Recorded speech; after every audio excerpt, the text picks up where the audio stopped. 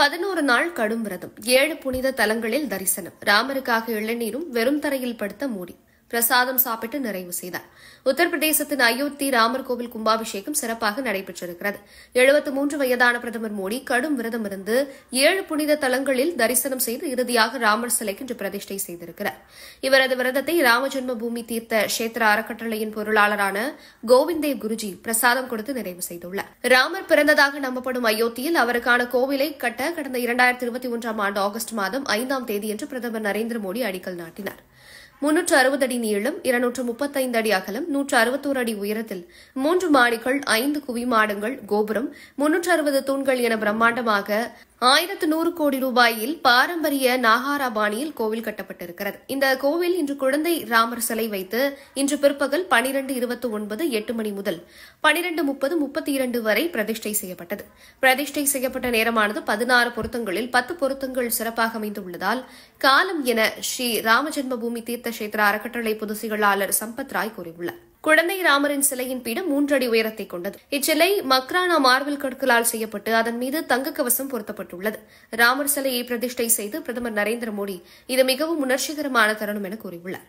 பிரதிஷ்டைக்கு முன்னதாக அவர் கடுமையான விரதங்களை மேற்கொண்டிருந்தார். எழுபத்தி மூன்று வயதான மோடி கடந்த பதினோரு நாட்களும் இளநீர் பருகி சாத்வீக உணவை மட்டுமே எடுத்துக்கொண்டு வெறும் தரையில் மெத்தை தலையணை இல்லாமல் போர்வையுடன் மட்டுமே உறங்கி வந்திருக்கிறார். சாத்வீக உணவு என்பது வெங்காயம் பூண்டு உள்ளிட்டவை இல்லாமல் தயாரிக்கப்படும் விரத உணவாகும். இவ்வளவு கடுமையான விரதத்தை கடந்த பனிரெண்டாம் தேதி மகாராஷ்டிரா மாநிலம் நாசிக்கில் உள்ள காலாராம் கோவிலில் அவர் தொடங்கினார்.